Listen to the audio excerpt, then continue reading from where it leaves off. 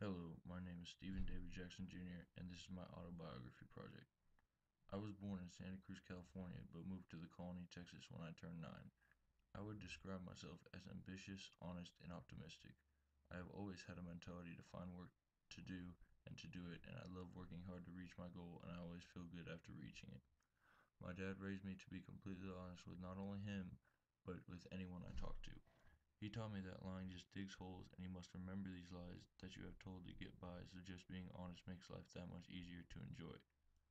I always describe myself as optimistic because I do look at a situation, try my best to find something good about it.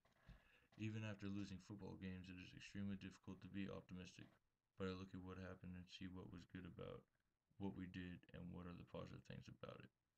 My family consists of my mom, dad, and two sisters. My mom is Robin Jackson, my dad Steven Jackson, and my two sisters Catherine and Victoria Jackson. They have all been a great influence on my life, and I have unconditional love for them. My dad has been the biggest influence in my life as I have grown up mainly with him my whole life.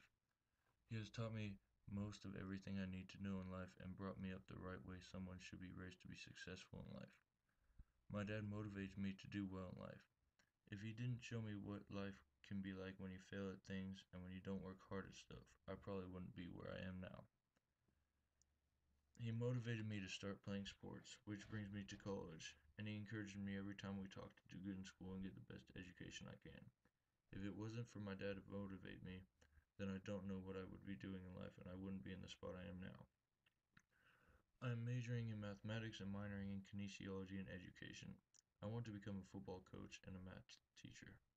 I want to start out as a high school coach and teaching math and possibly move up to the collegiate level and even move up into the professional world of football.